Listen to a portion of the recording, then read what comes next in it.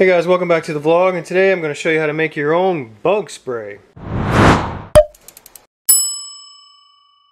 And it works great for wasps. That's why we got wasp on the bottle here. And all you're going to need is some dish soap, some peppermint oil, and of course a spray bottle. So the first thing you're going to do is you fill your spray bottle up with some water and then you're going to put half a cup of dish soap in the bottle and about one milliliter of the peppermint oil. And the, the dish soap is what actually kills the bugs because the bugs breathe through their skin and this kind of like suffocates them where they can't breathe and it kills them. And the peppermint oil actually will keep other bugs from coming around because bugs don't like the smell of the peppermint oil. So it's kind of like a deterrent. So we've already got it full of water.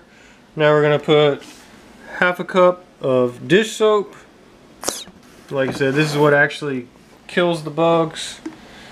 So it's real easy to do.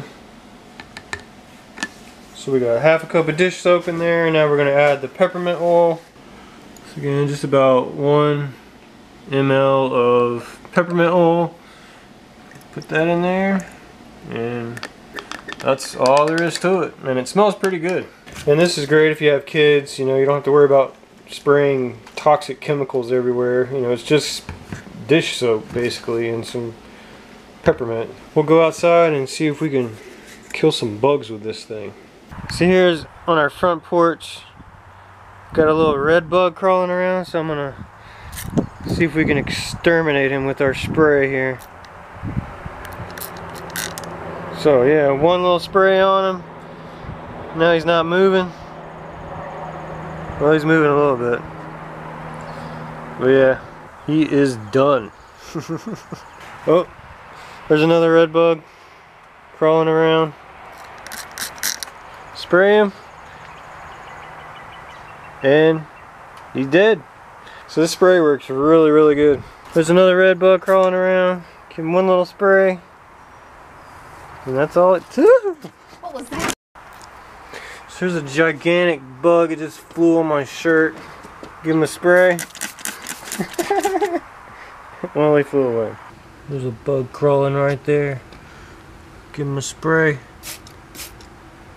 And he's dead. right here we got a bunch of ants crawling around. So I'm going to give it a spray.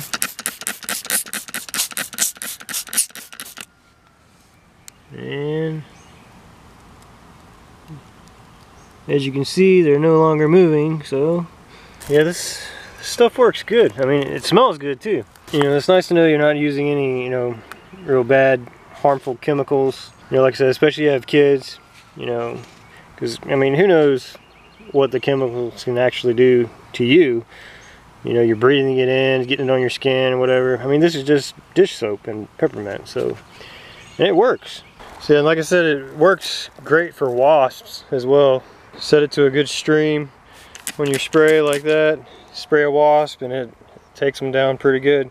So let me know what you think about this in the comments. Be sure to subscribe to the channel and I'll see you next time. Hey guys welcome back to the vlog and today we're going to look at the drill brush power scrubber. It says no more hand scrubbing so let's see what it looks like